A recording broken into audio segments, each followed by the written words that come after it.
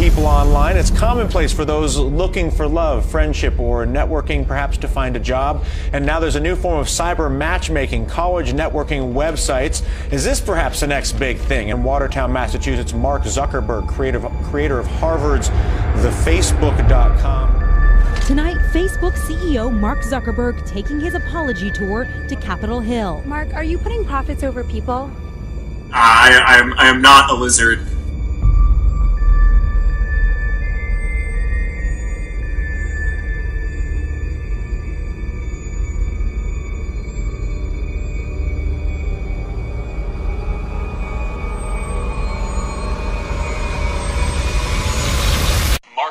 Zuck.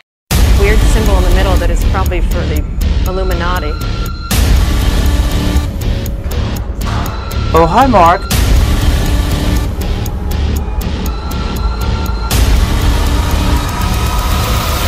Jarvis only listens to me.